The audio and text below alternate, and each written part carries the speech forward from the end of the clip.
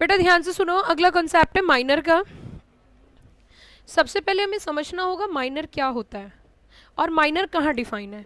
Minor is define in Indian majority act minor ना तो partnership में डिफाइन है और ना ही कॉन्ट्रैक्ट में डिफाइन है। माइनर को डिफाइन किया गया है इंडियन पार्टनरशिप एक्ट में। सॉरी इंडियन मेजोरिटी एक्ट में सॉरी इंडियन मेजोरिटी एक्ट में और वहाँ पे माइनर का मतलब क्या है? माइनर का मतलब है, जिसने अपनी एज के 18 इयर्स कंप्लीट नहीं किए। लेकिन दो एक्सेप्शनल केसेस हैं, जहाँ पे माइनर 21 वन ईयर्स तक ट्रीट होता है, इक्कीस साल तक उसको माइनर बोलते हैं। इट मीन्स जनरल रूल क्या है कि 18 साल तक माइनर होगा 18 साल के बाद उसको क्या बोल दिया जाएगा? मेजर लेकिन दो ऐसे केस हैं 21 साल तक क्या ट्रीट किया जाता है? माइनर अब सुनिए। जनरल रूल ये कहता है कि पार्टनरशिप करने के लिए, देखिए, बेटा मुझे एक बात बताओ, क्या पार्टनरशिप भी अपने आप में कॉन्ट्रैक्ट है या नहीं है? दो पर्सन के बीच में कॉन्ट्रैक्ट क्या कहता है? Create some rights and obligation between two और मोर पर्सन तो अब बताइए, यहाँ पे जब हम, जब भी कभी हम कॉन्ट्रैक्ट की बात करते हैं तो इसेंशियल एलिमेंट्स ऑफ़ कॉन्ट्रैक्ट होते हैं। आप पढ़ चुके हो क्योंकि मैं तो रिवाइज करा रही हूँ कनेक्ट कर रही हूँ इसलिए। इसेंशियल एलिमेंट्स ऑफ़ कॉन्ट्रैक्ट में हम कह सकते हैं कि बेसिकली अगर पार्ट कॉन्ट्रैक्ट करना है तो पर्सन सेक्शन टेन क्या बोलता है? सेक्शन टेन ये बोलता है कि आपका जो भी पार्टनर होगा वो साउंड माइंड होना चाहिए major and not disqualified by any law पर यहाँ पे मुद्दा ये है कि ये माइनर पार्टनर कैसे पॉसिबल हुआ? नहीं समझ में आई बात? कि ये माइनर पार्टनर कैसे पॉसिबल है? It is exceptional case it is a exceptional case it means general rule ये है कि सिर्फ़ मेजर ही पार्टनर बन सकता है, लेकिन एक्सेप्शनल सिचुएशन में माइनर भी पार्टनर बन सकता है। That is a exceptional situation basically clear और ये बात? नाउ अब हम अगर नेक्स्ट इसमें देखें तो इसमें पूछा है लाइबिलिटी ऑफ़ माइनर क्या कॉन्सेप्ट पूछा है? Liability of the minor minor एक छोटा बच्चा है और इसको कोर्ट ने, जो सभी लोगों ने क्या किया है? माइनर जो है, वो क्या है? छोटा बच्चा है, जो अभी कॉम्पिटेंट टू कॉन्ट्रैक्ट नहीं है तो उसको हम बोल सकते हैं कि यहाँ पे उसे पर्सनली लाइबल नहीं किया। तो क्या बोल रहा है पहले पॉइंट में लाइबिलिटी ऑफ़ माइनर में? Minor is not personally liable क्या वर्ड यूज़ किया?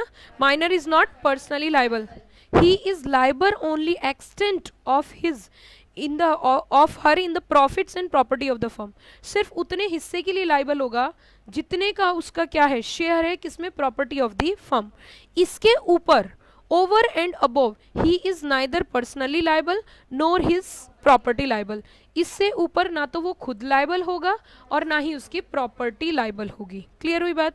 He can not declared insolvent आप उसे क्या डिक्लेयर नहीं कर सकते? इंसॉल्वेंट डिक्लेयर नहीं कर सकते. अच्छा अगला क्वेश्चन क्या उठता है? अगर एक पार्टनर बहुत ही आराम से सुनिए, अगर एक माइनर पार्टनर फर्म को छोड़कर जाता है या फर्म में रहता है, मुझे एक बात बताइए, अगर एक माइनर पार्टनर मेजर होगा तो या तो फर्म को छोड़ के जाएगा या फर्म में रहेगा आइदर लीव द फर्म और ज्वाइन द फर्म फिर से। माइनर पार्टनर जब क्या होगा? मेजर या तो फर्म को छोड़कर जाएगा, या फिर फर्म में क्या रहेगा? पार्टनर रहेगा। दोनों ही केस में पब्लिक नोटिस देना कंपलसरी है। फिर से आराम से सुनिए। दोनों ही केस में पब्लिक नोटिस देना क्या है? कंपलसरी है। आइदर लीव द फर्म तो भी नोटिस देना है, और आइदर ज्वाइन द फर्म तो भी नोटिस देना है। एग्जामिनर का एक फेवरेट क्वेश्चन होता है कि कितने दिन में पब्लिक नोटिस देना है? क्या वर्ड यूज़ किया मैंने? कितने दिन में पब्लिक नोटिस देना है? The word is use six month लेकिन कहाँ से चेक करने हैं? Six month from the date of attaining majority या फिर the date when he know he is admit as a major partner in the firm whichever is क्या बोलते हैं? ये पढ़ा ना आपने? बेसिकली कॉन्सेप्ट इनमें से आपको चेक करना है whichever is later whichever is later six month और when he admit as a major partner whichever is later now अब देखिए, करना क्या है मेजर पार्टनर बनने के बाद? Notice given to public notice किसे देना है? पब्लिक को. हमने क्वेश्चन फॉर्म में यहाँ पे कॉन्सेप्ट सीखा। If a person after attaining majority leave the firm required to give public notice answer is yes if a person after attaining majority join the firm continue the firm is required to give public notice answer is yes by chance उसने notice नहीं दिया। ये भी आपके exam में question आ सकता है। Bye chance उसने क्या नहीं दिया? नोटिस नहीं दिया तो क्या मान लिया जाएगा? Major partner of the firm ठीक है, क्या मान लिया जाएगा? Major partner of the firm deem to be major partner of the firm अगर उसने पब्लिक नोटिस नहीं दिया तो मान लिया जाएगा major partner of the firm now rights of minor partner before attaining majority rights of minor partner before attaining majority यहाँ पे राइट्स की बात हुई है किसकी? माइनर पार्टनर की किससे पहले? मेजोरिटी अटेन करने से पहले.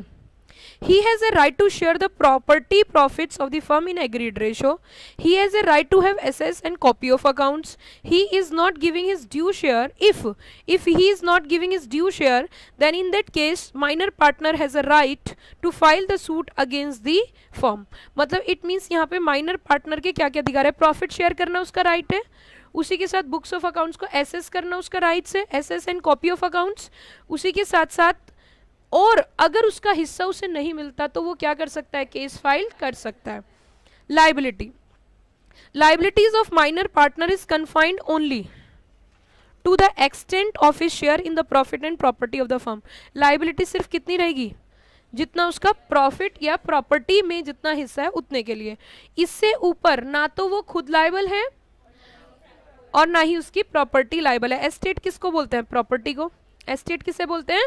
प्रॉपर्टी को। अगला concept position of minor partner after attaining majority यहाँ पे हमें क्या सीखना है?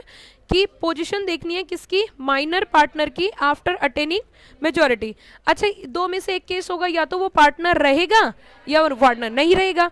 या तो बिकम पार्टनर या फिर नॉट बिकम पार्टनर पहला केस ही बिकम अगर वो पार्टनर बनता है तो वो क्या हो जाएगा? पर्सनली लाइबल मुझे बताइए, क्या जब वो माइनर था तो क्या पर्सनली लाइबल था? नहीं। नहीं लेकिन अगर वो क्या बन जाता है मेजर तो क्या होगा? किसके लिए? थर्ड पार्टी पर क्वेश्चन ये उठता है मैम कब से लाइबल होगा? लाइबल तो होगा, लेकिन कब से लाइबल होगा? ये लाइबल होगा since the starting from the date admission as a minor partner जिस दिन वो क्या एडमिट हुआ था एज ए माइनर पार्टनर उस दिन से लेके अब तक के लिए क्या हो जाएगा? पर्सनली लाइबल क्या हो जाएगा? पर्सनली लाइबल सपोज़ करो 2016 में वो माइनर पार्टनर ऐड हुआ और 2018 में वो मेजर हो गया तो लाइबिलिटी कब से स्टार्ट हो जाएगी? 2016 समझ में आई बात? आगे point his share in the property and profit of the firm remain same profit sharing ratio क्या रहेगा? सेम रहेगा. अगला क्वेश्चन अगर वो पार्टनर नहीं बनता है तो not become partner he continue to be liable as before until the date of public notice एक बार बताइए, जिम्मेदार किस दिन तक रहेगा? जब तक वो क्या नहीं दे देता public notice he shall not be liable for any act of firm done after the date of public notice public notice के बाद फर्म अगर कुछ भी करती है, उसके लिए पार्टनर जिम्मेदार नहीं होगा। He shall be entitle to sue the partner for his share of the property and profit और ये एंटाइटल्ड है किस चीज़ के लिए? सूट फ़ाइल करने के लिए। किसके ऊपर पार्टनर के ऊपर, किसके लिए? Share of property and profits समझ में आई बात? अगला कॉन्सेप्ट हम स्टार्ट करते हैं पार्टनरशिप डीड कॉन्सेप्ट क्या है हमारा?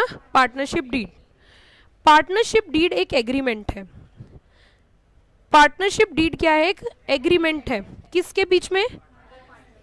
पार्टनर्स के बीच में. It means partnership deed is an agreement between partners ये एग्रीमेंट जो है साइंड होना चाहिए। किससे? ऑल पार्टनर्स अगर आपको इसका फर्म का रजिस्ट्रेशन कराना है तो पार्टनरशिप डीड जो है पार्टनरशिप डीड आपको फ़ाइल करनी पड़ेगी किसके पास? रजिस्ट्रार ऑफ़ फर्म के पास। किसके पास?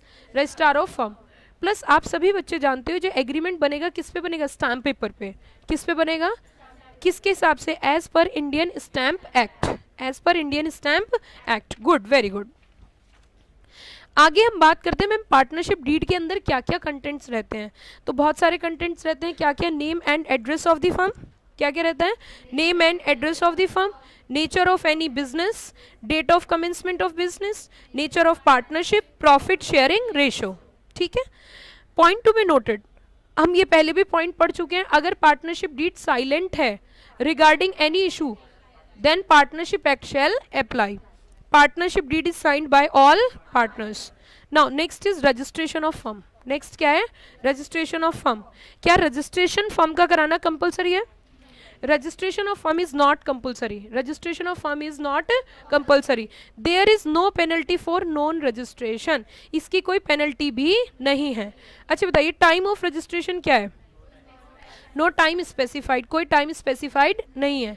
At the time of formation भी हो सकता है और registration during its existence during its existence okay now what is the procedure for registration what is the procedure for registration बेटा, यहाँ पे जो एप्लीकेशन फॉर्म होगी वो किसके पास जाएगी? रजिस्ट्रार ऑफ़ फॉर्म पहली बात एक एप्लीकेशन होगी प्लस पार्टनरशिप डीड होगी.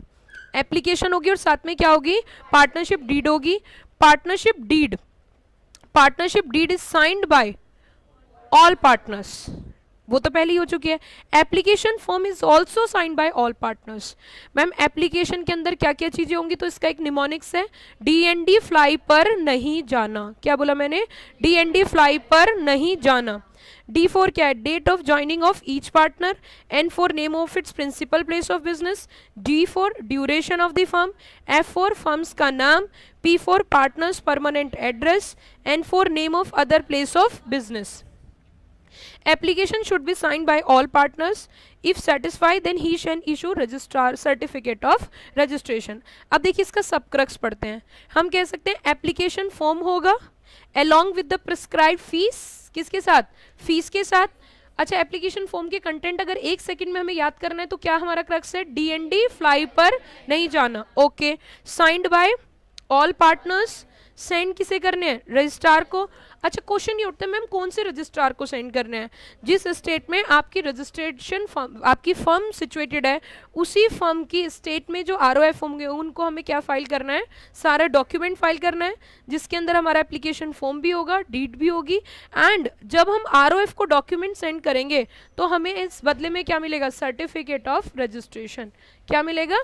सर्टिफिकेट ऑफ़ रजिस्ट्रेशन यहाँ तक क्लियर होगी बात? कोई दिक्कत यहाँ तक? आगे बढ़े। कंटेंट क्राइम कर पा रहे हो? बहुत ही बढ़िया।